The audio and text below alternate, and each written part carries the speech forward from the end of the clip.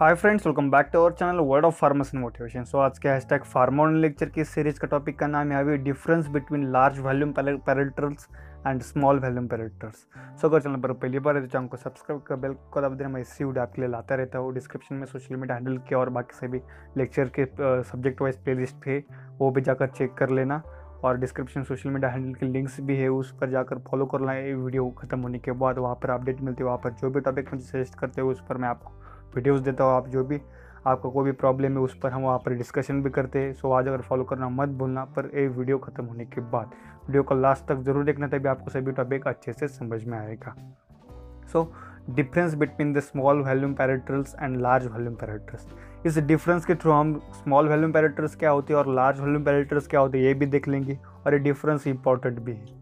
So small volume पैरेटर्स का पहला point देखते हैं। दे आर इंजेक्टेबल्स मतलब इंजेक्टेबल्स क्या होता है, जो भी प्रिपरेशन और प्रिपरेशन होते हैं और पैराटरस होते हैं, जो इंजेक्शन के थ्रू देते हैं हम, उसको हम कहते हैं इंजेक्टेबल्स। मतलब जैसे कि इंजेक्शन के थ्रू हम अलग अलग मेडिसिन लेते रहते हैं, कुछ हमें कोई बीमारी होने के बाद। तो उन सभी, उसको हम क्या कहेंगे इंजेक्टेबल्स और वो क्या होते हैं? स्मॉल वैल्यूम पैराटर होते हैं, जो इंजेक्शन के थ्रू हम लेते हैं और देते हैं पेशेंट को। तो नेक्स्ट लार्ज वॉल्यूम पैरेटर्स क्या होते हैं? They are generally intravenous fluid ये क्या होते हैं? इंट्राविनस फ्लूड होते हैं। हम इसको क्या करते हैं? इसको हम इंट्राविनसली देते रहते हैं। सो इसको हम क्या कहते हैं? लार्ज वॉल्यूम पैरेटर्स को कहा कर देते हैं? हम इंट्राविनसली हम देते हैं और इसलिए उसको इंट्राविनस फ्लूड भी कहते हैं। सेकंड है capacity is less than hundred M मतलब जो भी सॉल वैल्यू बैरेटर्स होते हैं ना जो भी उनकी पैकिंग होती है और उसकी, उनकी जो भी कैपेसिटी होती है तो वो कितनी होती है? हंड्रेड एम से कम होती है। और जो लार्ज वॉल्यूम पैरेटर्स होते हैं, उनकी कैपेसिटी कितनी होती है? तो कितनी होती है? Vary from hundred to five hundred M मतलब फाइव हंड्रेड एम से लेकर फाइव हंड्रेड तक अलग अलग कैपेसिटी में अवेलेबल होते हैं। तो small volume parenterals are typically use for delivering the medication at control infusion rate मतलब स्मॉल वैल्यूम पैरेटल कैसे यूज़ करते हैं? मतलब जो भी उनका मेडिसिन होता है मतलब स्मॉल वैल्यूम पैरेटल्स में, उसको हम कंट्रोल इन्फ्यूजन रेट में देते रहते हैं जो भी पेशेंट को। तो large volume parenterals provide to electrolyte supply the nutrition and such as vitamin and glucose जो भी लार्ज वॉल्यूम पैरेटर होते हैं, जैसे कि आपने देखा होगा, जो सलाइन बॉटल्स होती हैं ना, जिसमें हम क्या कर दे देते इलेक्ट्रोलाइट्स देते न्यूट्रिएंट्स देते विटामिन देते ग्लूकोज देते आपने बहुत बार एडमिट होने के बाद पेशेंट को जो भी देते रहते हैं कि सलाइन बॉटल्स के थ्रू वो वो सब कुछ क्या होती है लार्ज वॉल्यूम पैरेटर्स होते हैं। उसमें हम क्या देते रहते हैं विटामिन देते हैं न्यूट्रिएंट्स देते हैं ग्लूकोज देते हैं।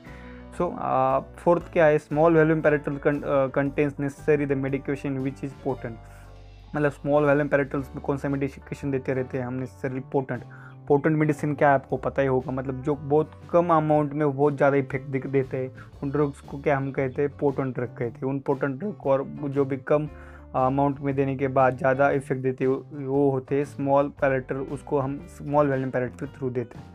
तो लार्ज वॉल्यूम पैरेटर्स क्या होते हैं? कंटेन वन और मोर इलेक्ट्रोलाइट्स मतलब इसमें जैसे कि एक वन प्रोटन ड्रग होता है और यहाँ पर हम बात करें तो स्मॉल वॉल्यूम पैरेटर्स में क्या होता है? कंटेन वन और मोर इलेक्ट्रोलाइट मतलब अलग अलग टाइप के एक या दो, चार इलेक्ट्रोलाइट अलग अलग टाइप के लार्ज वॉल्यूम पैरेटर्स में हो सकते हैं। तो फिफ्थ में बात करें तो administration with syringe and needle जैसे बात करें सिरिंज के थ्रू मतलब जो हमने बात करे थे कि स्मॉल पैरेटर इंजेक्शन देते तो उस नीडल से और सिरिंज से हम क्या कहते हैं, उसको एडमिनिस्ट्रेशन करते हैं स्मॉल वॉल्यूम पैरेटर्स का।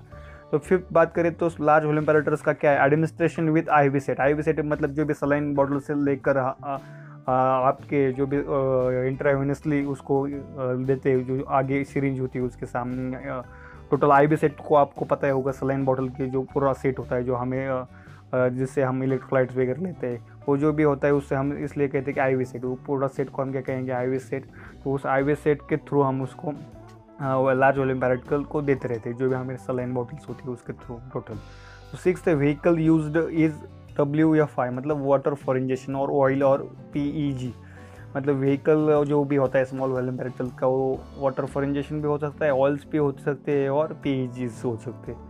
सिक्स को अगर बात करें लार्ज वॉल्यूम पैरेटल्स की तो only water for injection is use as vehicle मतलब जो भी लार्ज वॉल्यूम पैरेटर आप देखते होंगे सलाइंस बॉटल होती है, उसमें क्या होता है, सिर्फ़ वाटर फॉर इंजेक्शन नहीं होता है। उसके सिलाव ऑयल और पी मतलब उसका कोई अदर व्हीकल नहीं होता, सिर्फ़ only and only water for injection he vehicle होता है।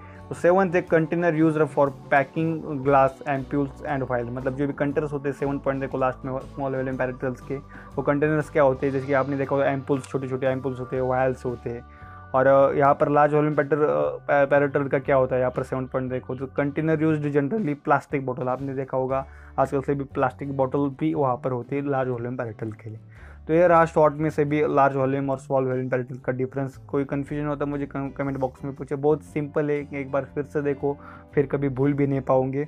और डिस्क्रिप्शन में सोशल मीडिया हैंडल के लिंक से आ जाकर तो मुझे फॉलो कर ही लो। आपको वीडियो कैसा लगा, वो भी कमेंट बॉक्स में बताओ।